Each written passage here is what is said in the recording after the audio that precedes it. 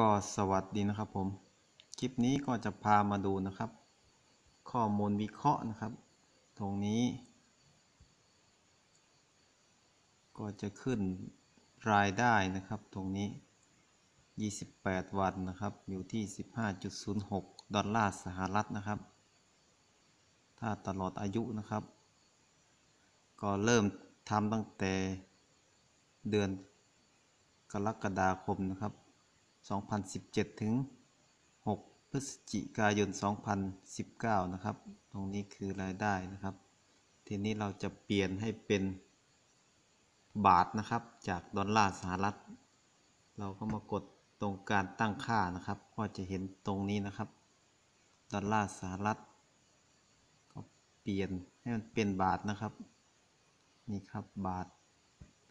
กดลงไปนะครับ จากนั้นก็มาบันทึกตรงนี้นะครับ บันทึก